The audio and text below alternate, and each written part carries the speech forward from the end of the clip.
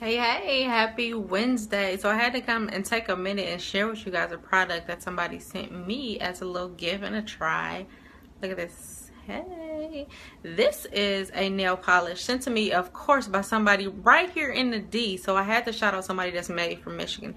This is a Laze, and this is a nail polish, and it only has three ingredients in it. Now, turn y'all bottles over and look over and see how many ingredients you got. Wait. But if you have people like me who are sensitive to dyes and all those chemicals and stuff, this right here, go ahead and get you some. This, I don't know what color this is because it's not a color on here. Um, so I've just been calling it Pearl Flake, like since it's Winter Wonderland. This is kind of how it looks to me. I think, and don't quote me on this, I think this is Christmas Eve according to the Instagram page, but I'm not 100% sure.